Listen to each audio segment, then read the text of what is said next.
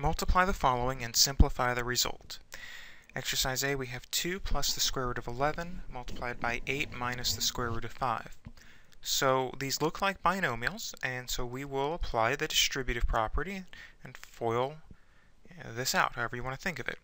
So we have 2 times 8, which is 16, and then we have 2 times negative square root of 5, so minus 2 square root 5.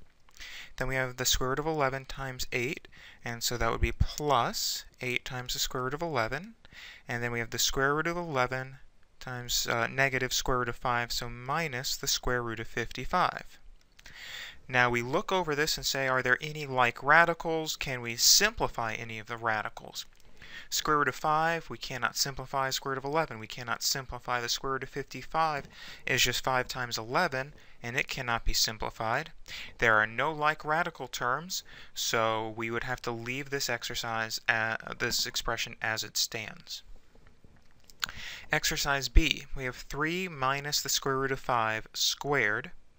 So what I'll do is I'll rewrite that as 3 minus the square root of 5 times 3 minus the square root of 5 and FOIL from there.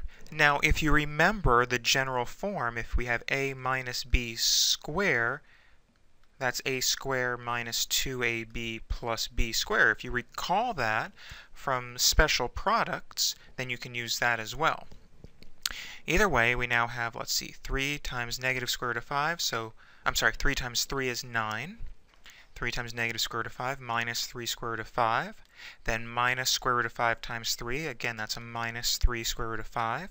And then we have a negative times a negative, so plus the square root of 5 squared, or the square root of 25, however you want to think of it. And so we now have 9. Combining these like radicals, that's minus 6 times the square root of 5, and the square root of 5 squared is 5.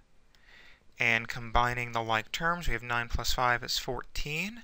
So 14 minus 6 times the square root of 5.